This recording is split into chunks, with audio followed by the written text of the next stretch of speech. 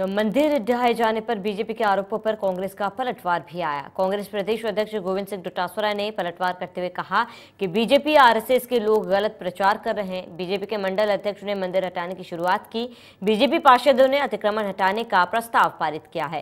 कांग्रेस पर मंदिर तोड़ने का आरोप लगाना गलत है। बीजेपी धार्मिक भावनाओं को भड़काने का काम कर रही है।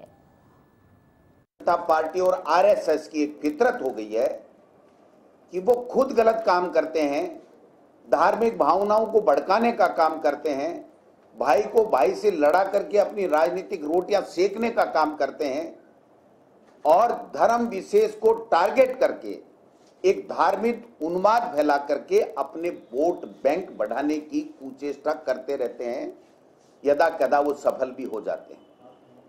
ये जनता पार्टी का मंडल अध्यक्ष और तमाम पार्षद 2018 से लेकर के इस अतिक्रमण को या इस मंदिर को हटाने की बातें कर रहे हैं तो फिर उनका सर्वसम्मति से बोर्ड है, एक मेंबर है कांग्रेस का तो उसके बावजूद उनके अध्यक्ष की अध्यक्षता में ये जो निर्णय करके और जो राजगढ़ के अंदर हटाया गया मंदिर, उसके लिए पूरी तरीके से भारतीय जनता पार्टी और उनकी नगर पालिका मंडल पूर्णतया दोषी है।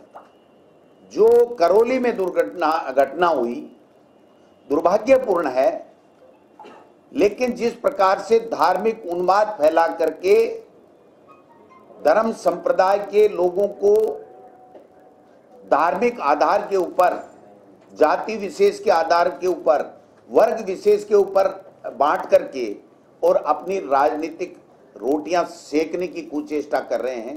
मैं जनता के अन्याय में जनता के साथ हूँ। राजगढ़ नगर पालिका बीजेपी का बोर्ड है पूरा पूरा। पैंतीस में चौंतीस मेंबर बीजेपी के हैं। बीजेपी के बोर्ड ने फैसला किया है कि हम पत्र को बढ़ाएँगे हमारे हमारे मार्केट में जो संकीर्णता, छोटापन है और भीड़ भाड़ रहती है उसको दूर करने के लिए उन्होंने प्रकार का प्रमाण प्रस्ताव दिया। मैंने उन्हें उस टाइम भी समझाया था कि कितने सालों से, पैंतीस चालीस साल से तो मैं इस इस राजगढ़ में आता जाता हूँ और जनप्रतिनिधि रहा हूँ।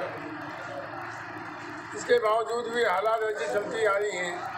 आप लोग इस बारे को अब नए नए पार्षद बने हो, नई उम्र के बने हो, आप अपने सोच को बड़ी बना करके और इस प्रकार का फैसला नहीं लिया जाए। और मैं ये चाहूँगा कि बीजेपी का बोर्ड सर्वसम्मति से ये फैसला कर दे कि साहब हमारे प्रस्ताव को वापस लें। तो मैं मैं इसमें बहुत बड़ी खुशी और प्रसन्नता